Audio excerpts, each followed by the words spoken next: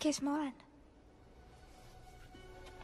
ma oma saart nii väga hoian ja ka merekutset siin. ma kuulen.